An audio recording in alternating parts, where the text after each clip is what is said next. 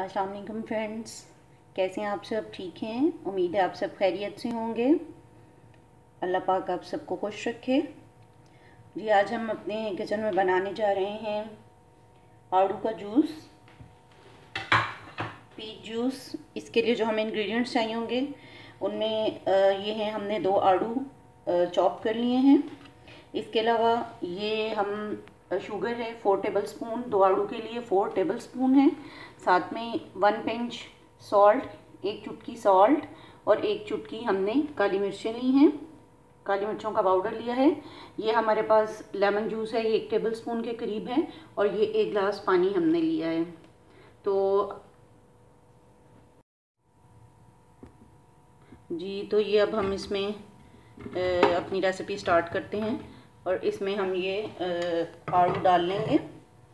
ये जो हमने चॉप किए हुए हैं, और इसके साथ ही ये हमारे पास जो शुगर है, सॉल्ट है और ब्लैक पेपर है, ये हम इसमें ऐड कर देंगे। ये हमारा lemon juice, one tablespoon. और ये, पहले हम इसको थोड़ा सा पानी डाल के ग्राइंड कर लेंगे, उसके बाद इसमें मज़ीद हसब ज़रूरत पानी डाल लेंगे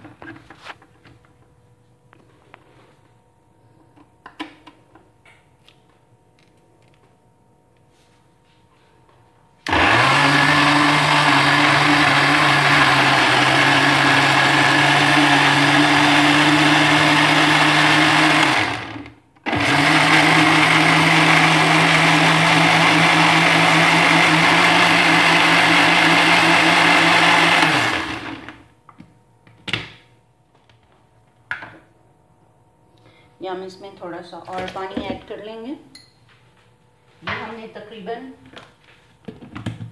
पौना ग्लास जो है वो पानी से किया है।